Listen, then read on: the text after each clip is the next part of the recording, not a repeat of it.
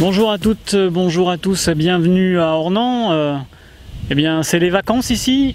Nous sommes dans un cadre magnifique euh, à l'hôtel de France, euh, nouvellement rénové. Et c'est pour vous annoncer les journées piétonnes de ce samedi 18 juillet. donc Ornans sera piéton, c'est une initiative de la municipalité d'Ornans.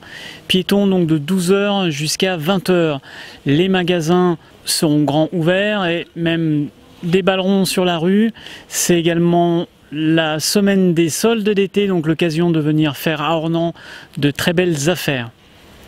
Il y aura également pour la toute fin d'après-midi, pour ceux qui souhaitent prolonger la fête, des concerts, un concert au Café des Arts, donc à Ornans, et également un concert au Canoë Café à la station euh, base de loisirs Aquila. Donc venez profiter de cette belle journée du samedi qui s'annonce. Samedi piéton, vous pourrez euh, déambuler, vous balader dans les rues en toute sécurité et vraiment en toute convivialité. Et pour ceux qui souhaitent ensuite euh, venir admirer ce cadre magnifique, aller randonner euh, sur la Roche du Mont ou également aller faire un peu de canoë, de kayak. Le marché des producteurs va être prolongé, donc il commence à partir de 9h et il va se prolonger jusqu'à 15h.